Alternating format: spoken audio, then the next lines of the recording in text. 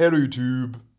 Just recently I got recommended a video called This is why you don't have a demon back.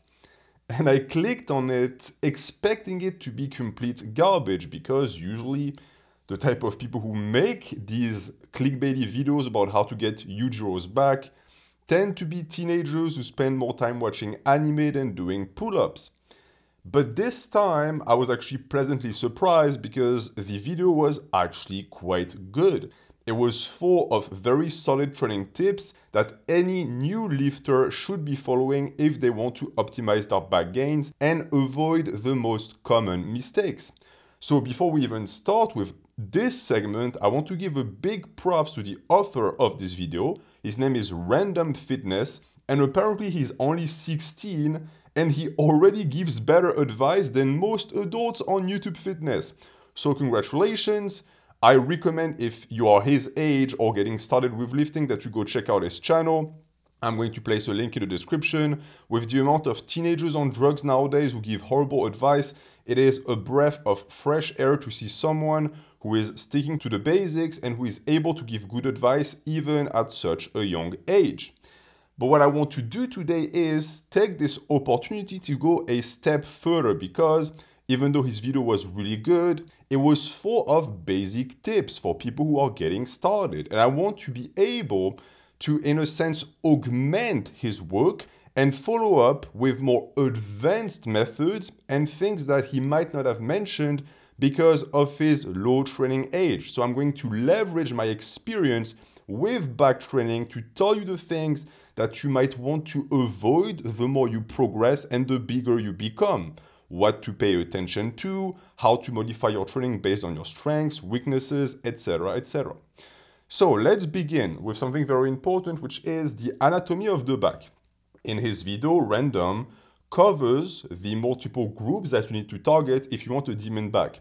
And unlike many people who think that you only need big lats to have a demon back, he understands the importance of the traps, for example. So that's already very good. The issue is that this advice can sometimes lead to more mistakes down the line because many novices, upon learning that the back is indeed made up of multiple different muscle groups, short circuit in a sense, they go crazy and they start doing a gazillion variation for every single area. And that is just as counterproductive as the type of people who only do deadlifts for back even though they are neglecting most of the back in reality.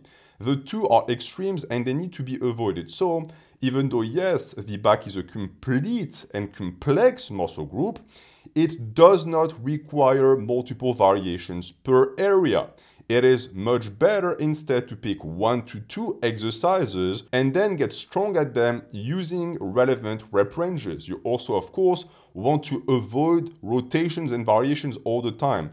If you switch exercise for your lats, for example, every two months, chances are you're not going to see results because times and times again, you'll have to relearn the pattern and you're never going to get those hard reps. You're never going to have to fight through these plateaus that at the end of the day would give you your gains. So once you have selected the movements that you enjoy, you pick a rep range that is going to be relevant for you and you try to get as strong as possible on these movements while getting as much volume as possible. So these are my preferred rep ranges. 3 to 5 for pull-ups is excellent. A 5x5 will also work, 3x3s are good as well. For other types of variations of pull-ups, a 6 to 10 is possible. Barbell rows, same thing. 3 to 5 is excellent because you really want to push the intensity on these, but many people are not confident in their technique. On the barbell row, in which case you do a 6 to 10. 6 to 10 is also great for hip hinges that are also included in developing your back because a lot of people seem to think that good mornings, that uh, Romanian deadlifts only grow your glutes and hamstrings. They do in priority, but they also thicken the fuck out of your erectors and rhomboids. So you really want to be doing them. If you're the type of person that only does pull-ups, for example, you'll have decent lats, but when you turn around, you'll look like a piece of paper. And that's not very impressive. Keep in mind that Yujiro's demon back is 3D. It pops. Why? Because it is thick. So you want to get thick as well. You want to do your hip hinges. Then 8 to 12 is my favorite for pull downs and all sorts of dumbbell rows, legless rows, cable rows, sole rows. I find that it is a good amount of reps to really push the muscle to failure. And then stuff like rear delt isolation, for example, shrugs, 10 to 15 is a good rep range for that. These are my preferred. Now, most exercises that you will be doing that I just cited don't just train one muscle. It's also something to keep in mind to prevent yourself from panicking at the thought of leaving gains on the table. If you look, for example, at a pull up or a pull down, they don't just train your lats, they also train the teres major and minor, as well as other muscle groups in the back. A cable row or a dumbbell row will train your traps as well as your lats and your rear delts. All of that to say that it's a package deal. Then you have, of course, the barbell row, which, if done properly, trains the entirety of the posterior chain and the entirety of the upper back. Does it mean that we then go to the other extreme and say, okay, well, let's just do barbell rows then? No, we use all the tools that are available to us, but we don't exaggerate. No need to do everything and no need to be paranoid about developing lagging muscle groups. Also, and this is my personal opinion, there is no need to dedicate specific training slots to lower back simply because most of your hip hinges are going to train that area already. So unless you have restrictions or injuries, there is no need to take like one to two lifts added to the training just for that muscle group because it's going to be developed by your heavy pulls and your heavy hinges. And the same is somewhat true for glutes, although that is not the topic of this discussion. Now, in relation to forearms, however, this is not the same. Many young men, many novices think, okay, well, back training and back day is also forearm day because I pull with my forearms and I use my grip. So there is no need to isolate my forearms. Then five years down the line, they have small forearms and they have a small back. Why? Because when you follow that line of thought, it is the worst of two worlds. Not only is just pulling things not enough to develop the forearm because it doesn't cover all of the functions of the muscle of the forearm, but worse, you are now letting the weakest muscle of the upper body limit the strongest muscle of the upper body. And that is criminal. Do not do that. So, my advice for you is very simple strap up. As soon as you hit that one set where your grip fails, don't think about it twice. Buy straps. It's going to save you so much time and it's going to get you much bigger, much, much faster. There are a few exceptions, of course. You don't have to strap up for every back movement. I find that stuff like pull downs don't require straps. I see people use straps sometimes. Usually movements where the hand is going to grab a bar and allow the fingers to wrap around in opposition to having the bar dangling from your body with a straight arm tend to be much easier. I don't quite see how it's possible to have grip limitations on these. Likewise, if you do a diagonal pull, so let's say you go and you grab the bar here, usually you can force grip the bar, in which case there should not be an issue with your grip because now you're literally locking the implement and the bar in place as you pull with your elbow. Once again, not to say that you can never use straps, but if you become the type of person who use straps on everything, one, you depend on them, and two, there's not really a reason because yes, indeed, gripping things is going to give you free forearm gains. So why not get it if you can get it? But it's not enough to just stop there. If you really want to train grip, instead of just trying to get it as a byproduct, which usually doesn't work, just train grip, which is also again going to grow your forearms. And don't get swindled in a sense by these bodybuilders who tell you that if you don't strap up, you somehow limit the ability of the back to recruit muscles because the central nervous system is occupied with the forearms. That makes no sense whatsoever. It's bro science and the worst type of bro science. I think that you should use straps whenever you want and don't use them when they're not necessary which should of course never prevent you from also training from directly. You should isolate every single muscle group.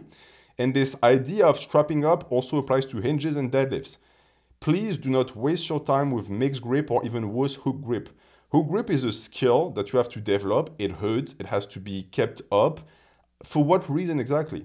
Keep in mind that hook grip was first and foremost invented for weightlifters because they're not allowed to use straps. But you're at the gym, bro. You're trying to get big. No one is there to tell you that you don't get to use straps. So use straps. There is no point in developing these other uh, these other strategies of grips. And in relation to the deadlift now, it might be shocking to some of you guys to hear, but I also really advise you to not obsess over it. I understand you have been told at some point that the deadlift is the king of exercises, and that is true only in the sense that it recruits the most amount of muscles at once, but that doesn't make it better than other movements, especially for back development.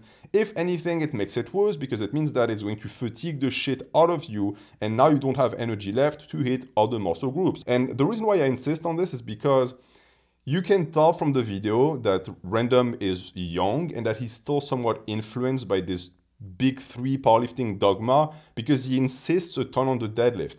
But I can tell you that everyone that I know and that has, uh, that has moved on to pure bodybuilding now vouch for the fact that hyper-focusing on the deadlift, especially conventional or sumo, for many years has been a massive letdown because they did not get the back development they expected from it. Sure, they got good erectors, good traps, but these things could have been developed with any other hinge. There was no reason to over-focus and in reality obsess over that one movement, especially since, again, there are better use for your energy. So if you're the type of person who deadlifts three times a week, I highly recommend you only deadlift one time a week and then you spend that leftover energy doing pull-ups or rows instead. And if you do decide to do pull-ups, please do them properly. There are many people nowadays who have recognized the supremacy of pull-ups. Pull-ups are indeed actual kings for back development, between someone who is going to train deadlift and someone who is going to train pull-ups for a year, I think that the guy with the most aesthetic back at the end will be the guy doing pull-ups. But he might be less thick than the guy doing deadlift, which is why you want to do both your hinges and your pull-ups. But yes, if you do your pull-ups, there are three rules that I want you to follow to make sure that you get gains from it. The number one is your negatives should always be slower than your positives. Always. There is no if, there is no but. Always. Why? Because if you do not follow that rule, you're going to do what I see pretty much everyone do. You're going to just drop. I see people doing explosive positives and then they just drop and they let their arms catch them at the bottom. But the issue is that most of the gains you'll get from the pull-up happen as you try to resist gravity when your body is going towards the ground, as your arms extend, as the lats stretch to catch the weight. That is when the gains are made. So if you just completely skip that portion of the range of motion, you're skipping the gains. There is no point. And why do people do this? They do this because they want to lift as much as possible. So they think, well, lifting for the pull up is just the positive, right? That's one rep. Wrong. That's 0.5% of the rep. That's 0.5 of the rep, 50% of the rep, and not even the most important part. So please slow down your negatives. And to do that, I have a very simple trick, and that's my rule number two. Every single pull-up starts from the top. You do not start from the negative from the, the bottom of the negative, you start from the top of the positive. That is one rep. You're at the top, you extend all the way down slowly, then explode back up. That's one rep. Okay, so five reps would be doing that five times. That way, you will not cheat.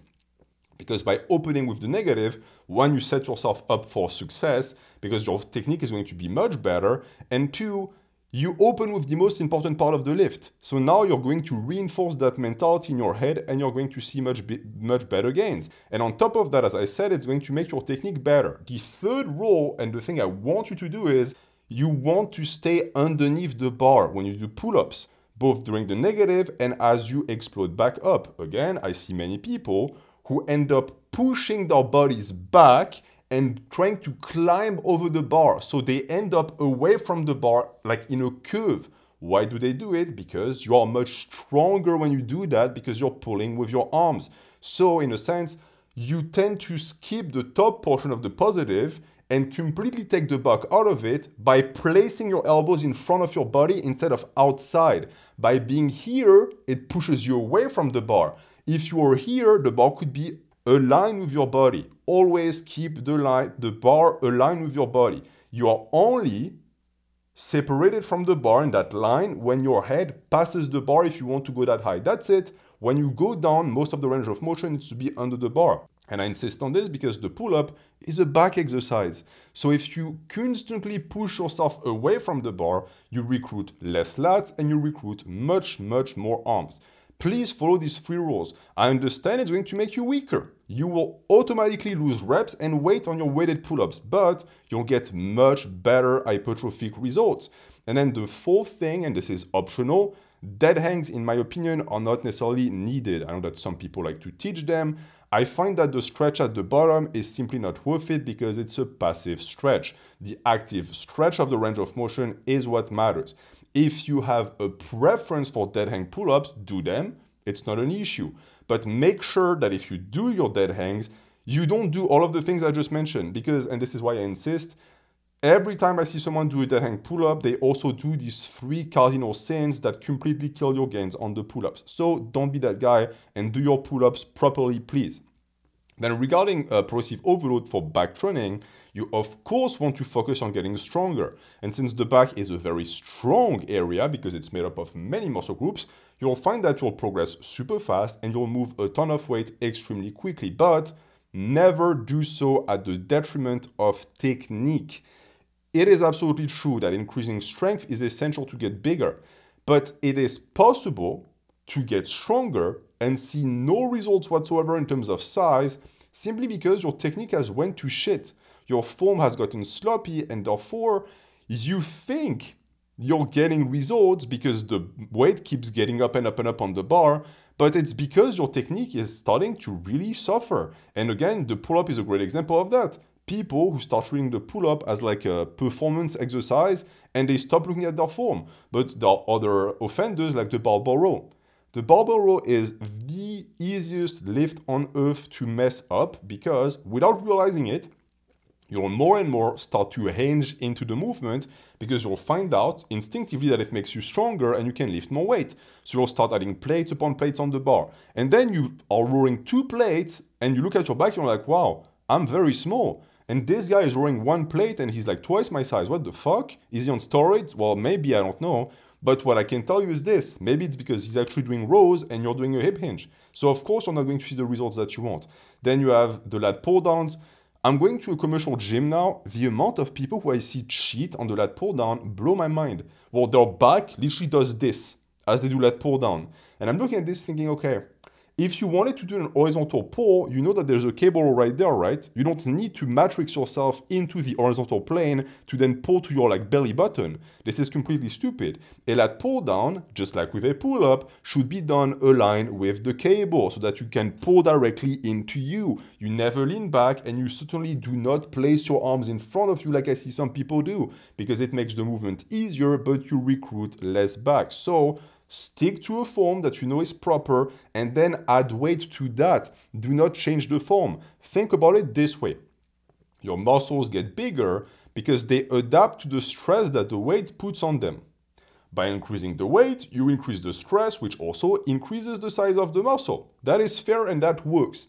However, if the method you use to put on the stress and to move the weight changes, then you can no longer be certain that the increase in weight and stress will result in an increase of muscle because the technique is now too far removed from what it used to be. And so you are literally adding weight for nothing and you're lifting for no gains. So always make sure you standardize your reps. It's completely useless to progressively overload if your reps, technique, and tempo are not standardized as well. The two go hand in hand. And I think that this is what you should take to heart in reality because you know there is no secret to back training. There could be some tips and some, some hacks that I just gave you in this video that are going to prevent mistakes and are going to push you on the right path. But all of this will not matter if you don't actually apply it. You see, people have been making videos on how to get a demon back for what a decade now. And how many people do you see with impressive backs? The back is the most undertrained muscle group and it is the one with the biggest potential because most people fail to apply for a very long time. I find that the naturals with the best backs are the ones in their 30s to 40s because they've spent a lot of time on that back and they've been hammering it. Since it is a big muscle group, it's going to recruit, it's going to require the most volume and so the most amount of training as well. So start with Randumb's advice and then the more you train, the more you progress, start to learn, start to apply more advanced tips, because to get to that next level, it's what is going to be needed. And it also doesn't stop there. Yes, what is needed is to apply and to put in the work, but for that, you need a plan. You can't just do things randomly. You can't just go in and spam every single back exercise or back machine that you see inside. You have to properly split every single back exercise that you have chosen and the volume that comes with it evenly. This means no back day because again, many novices, when they receive that type of advice, which is good advice, they do something with it that is bad and they think, okay, I'm going to do all of these back exercises to cover all of my bases, but I'm going to do them all on the same day for some reason. Like as if there was some god in the sky of muscle splits that has decided that a back day is a back day and that you are not allowed to do back exercises on every other day.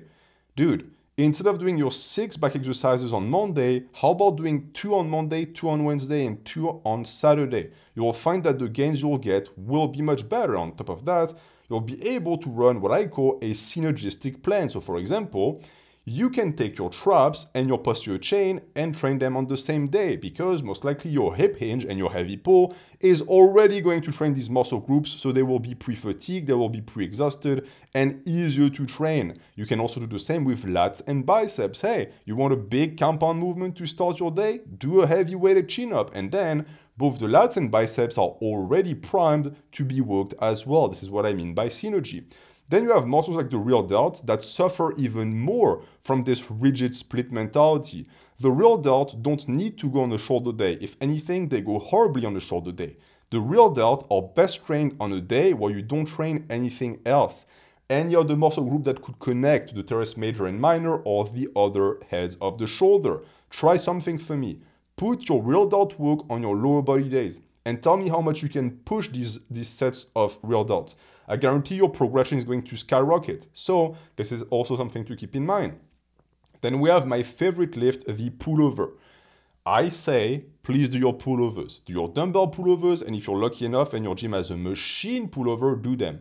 Worst case scenario, you can do your cable pullovers as well. Keep in mind that if you only have cables in your gym and you don't like the dumbbell variation, you can set up a bench with a low pulley to do your pullovers in that fashion. That is absolutely possible. Some people even do it on a decline bench for even more stretch. So that is very interesting. But where should you put it in your program, right? Right now, we're discussing how we planify back training. Well, I find personally that pullovers pair best with push days. They pair really well with vertical pull, uh, ver vertical presses and horizontal presses. So give it a try as well. But if you want clearer instructions and you want a detailed step-by-step -step plan, you have two choices. Either you check out the pin comments, I'm going to put my back master plan in it. It's a, I think, four-step plan that details exactly what you have to do. So year by year by year, it will tell you exactly which steps you have to follow.